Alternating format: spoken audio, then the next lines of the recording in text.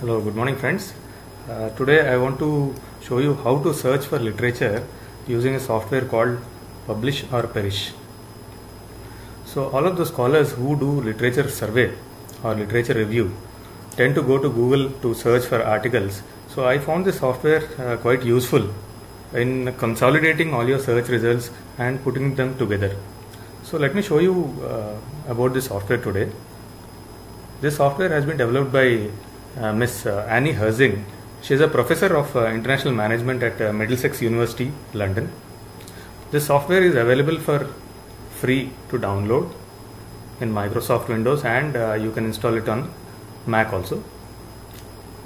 So I have downloaded it and uh, this is how it looks like. So to start with, I will just show you the layout of the software first and then we'll see how it works. This software basically what it does is uh, it uh, consolidates results uh, from various data sources, precisely six data sources, out of which three are free data sources, uh, Crossref, Google Search, and Google Scholar Profile. The other three, out of which two are you know re- free registration is required, and the third one, Web of Science, requires subscription. So let's see how to do a search and what are the benefits of uh, using this software for uh, doing a literature search on the internet. So let us take our famous Google Scholar. So I will search something in Google Scholar and show you what are the benefits of the software. Okay. Now say uh, there are various ways of searching uh, literature. You can search by the author's name or the publication name, the title words, and easiest is the keywords because it will throw up a lot of results which probably otherwise you will not know uh, that they are existing on the internet. So let's uh, say, for example, uh, I have been searching on this topic called training effectiveness.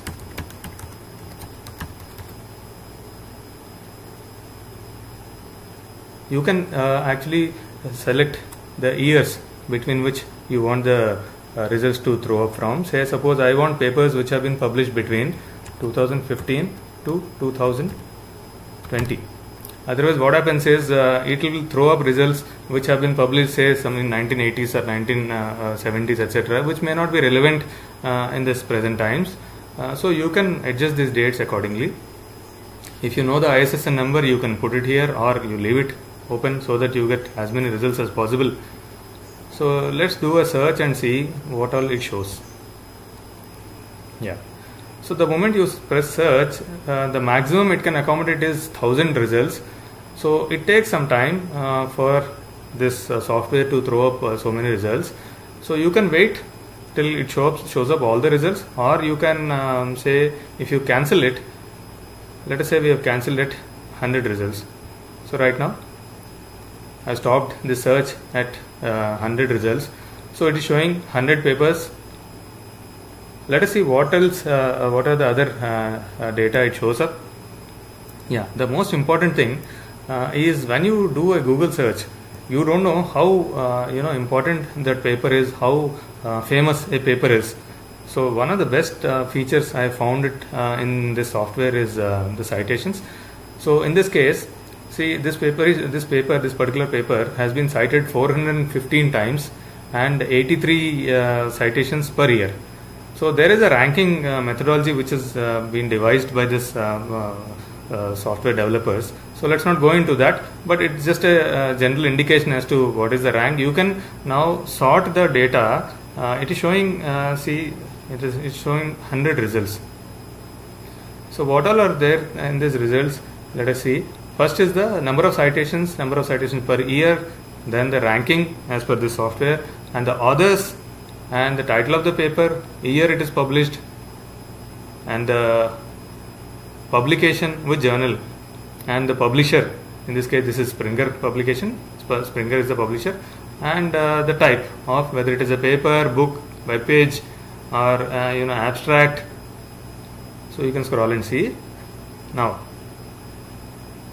in addition to the number of citations, uh, it also calculates the H index, G index, uh, HI normal, etc. So I will not uh, dwell upon the indices here. Maybe we will uh, I'll, I'll show uh, make a, another video for this indices especially yeah so now you can uh, uh, sort the results and see the top say whatever you want say let us say uh, we want to see top 10 or I want to copy top 50 results or top, top uh, 20 results.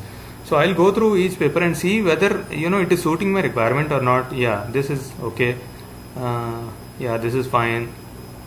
Yeah maybe I'm not interested in this so I'll just unclick this. Yeah maybe I'm not interested in this. So likewise I can choose what I want to save and what I want to delete so I will remove some things and I'll retain some things. Yeah. Now what do I do after this? I can copy these results and save them as uh, save them in Excel. I've copied. I'll simply paste them here. Yeah. So see what has come to Excel whatever data is shown there in the software in addition to that there is some additional data which is shown in the Excel software. Like it is actually shown the complete abstract of a particular paper. Okay whether you want to use it or not it is up to you. And uh, number of citations per year number of citations per author number of authors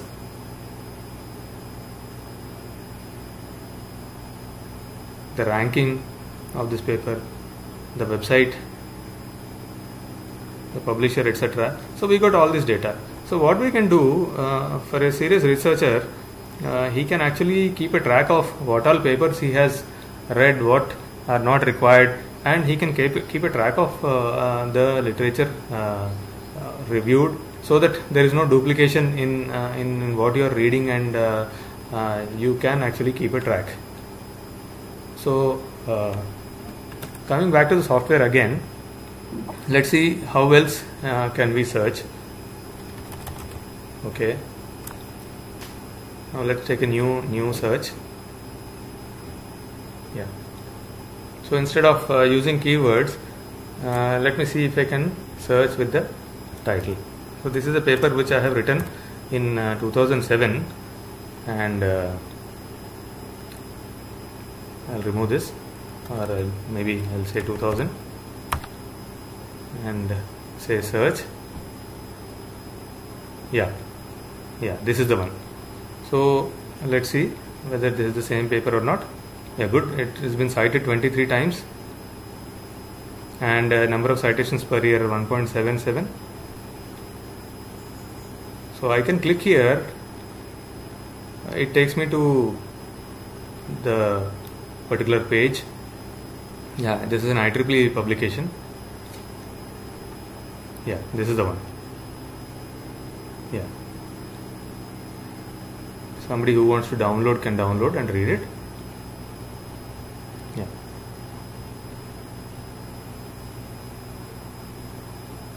So the other uh, panels in this in this window are uh, yeah this this keeps a track of what searches you have done in the past so that you don't have to keep searching the same things again. See this is the training effectiveness which I did.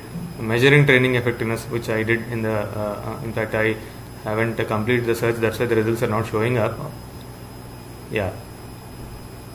Learning styles. Uh, this is another search which I have done. And I have used uh, Scopus instead of Google search here in fact I have stopped this uh, search. That's why it's not showing up. You can actually use uh, crossref and uh, do the same search again